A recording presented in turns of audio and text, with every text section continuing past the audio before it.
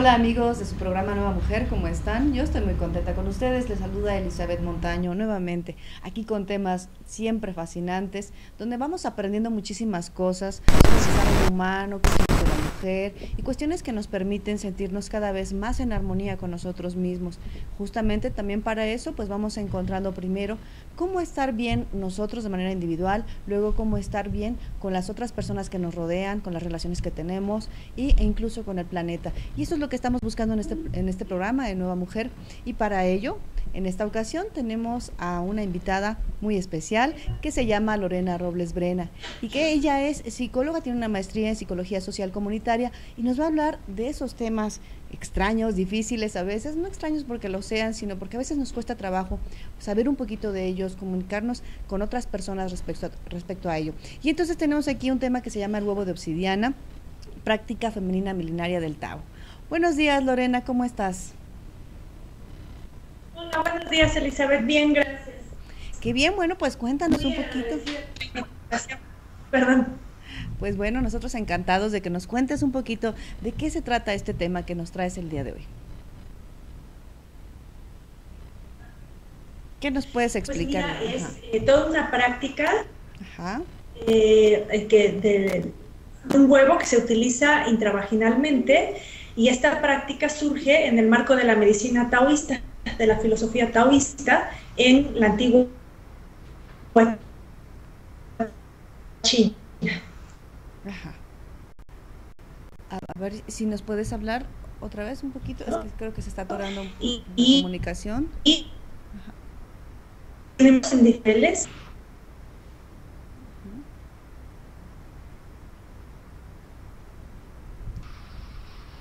Está, eh, creo que está un poco atorada la, la señal. Bien, bueno, en lo que regresamos restablecemos la señal con Lorena. Bueno, eh, como de todas las veces hemos platicado también de otras actividades que nos permiten sentirnos parte de esta comunidad. Estaba yo hablando hace un momento de primero encontrar nuestra armonía interior con nosotros mismos y bueno, también con otras personas. Y para eso ya hemos comentado en otras ocasiones sobre que estamos haciendo un evento muy importante para nosotros, que es un maratón de teatro que hacemos cada año con la compañía Sueños Verdes Teatro y que en este año, en esta ocasión, vamos a estar en la delegación Xochimilco. Ya estamos muy cerquita de llegar al evento, así que bueno, estamos muy contentos y les estamos recordando que si gustan participar con nosotros, serán siempre bienvenidos. Hay varias maneras, ya se cerró ahorita la convocatoria para las compañías, ya estamos en la programación a punto de cerrarla, de terminarla, porque bueno, estamos buscando generar nuevas alternativas. Ya tenemos un ratito trabajando con ello, pero generar alternativas para que todo el mundo tenga acceso a ellas. Es un festival de entrada libre, de permanencia voluntaria, donde empezamos a las 12 del día con espectáculos uno tras otro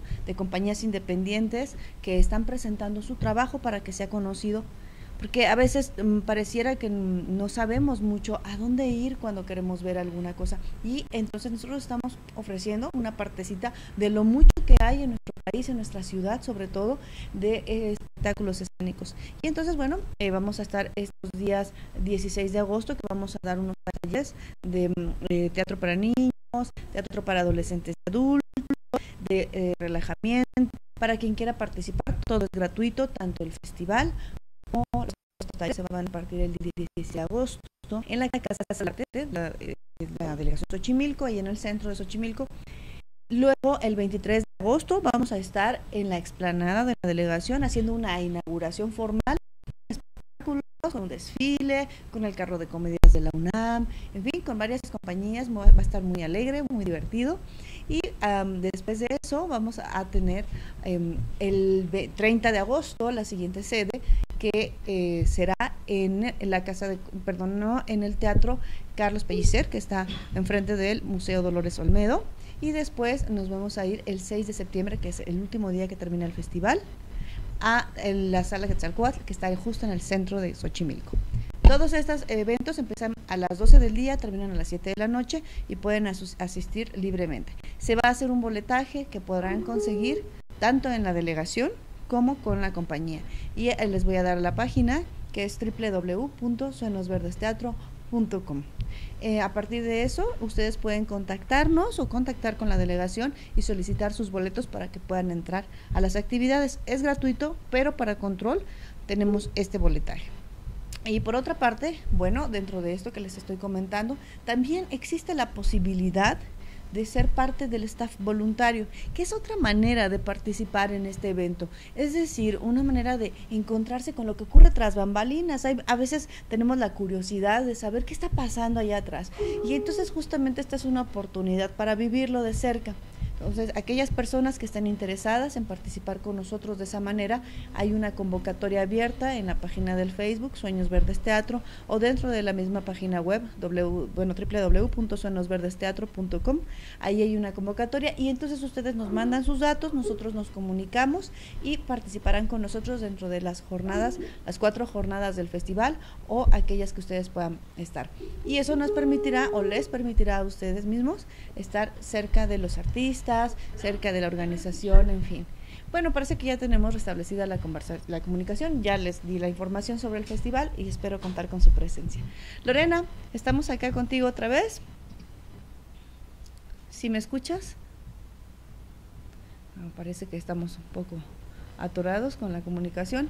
En fin, bien, mientras esto se puede resolver, eh, estábamos comentando entonces de, esta parte del festival. Bueno, y, si ustedes quieren participar en ello, en cualquiera de estas opciones, siempre hay una etapa de formación, de capacitación para que ustedes sepan cómo trabajar con, con el equipo, porque a veces no se conoce mucho todo lo que se hace y hay toda una maquinaria para poder llevar a cabo este festival.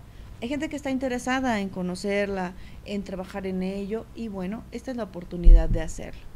Eh, nosotros como compañía, como compañía organizadora, productora de este festival, estamos consiguiendo siempre los apoyos de las personas que quieran hacer, es, eh, hacer que esto siga ocurriendo.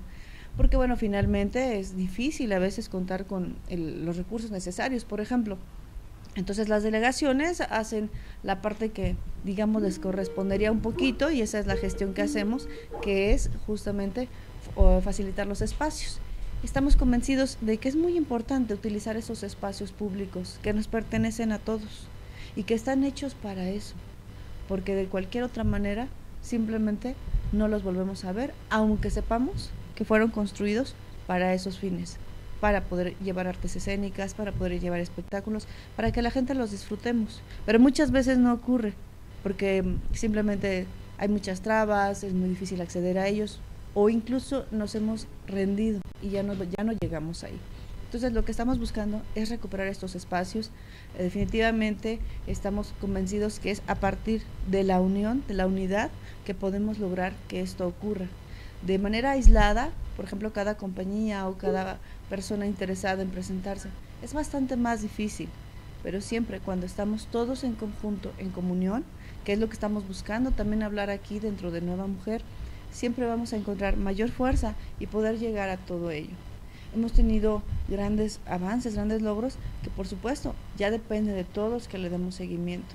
En esta ocasión, que hacemos toda esta gestión, como utilizar estos foros que son maravillosos, que son hermosos. En este caso vamos a estar con Xochimilco en el Teatro Carlos Pellicer o en la Sala Quetzalcoatl. Son espacios que están hechos para el teatro, para las artes escénicas, para la danza, para la música, y que de pronto pareciera que no son completamente utilizados o que solamente para ciertos eventos gubernamentales o para cuando se renta el teatro. Pero también se vale utilizarlos para todos, para disfrutarlos todos. Entonces, eso es una de las cosas que estamos buscando como principal objetivo, además de difundir el trabajo que se hace en nuestro país, sobre todo en nuestra ciudad, de las artes escénicas.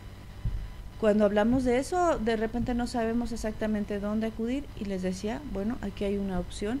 Hay muchas compañías que están trabajando muy duro en desarrollar una, una nueva manera de ver el teatro, de ver la vida incluso a través de las artes escénicas y esta es una plataforma para que lo puedan presentar. En fin, entonces está ahí la invitación el 16 de agosto, 23, 30 y el 6 de septiembre será el festival. La convocatoria y la publicidad estarán apareciendo en diferentes medios. Bueno, pues vamos a ir a un corte, va a ver también si podemos restablecer la comunicación con Lorena y les agradezco mucho. Estamos en un momento más aquí en su programa Nueva Mujer.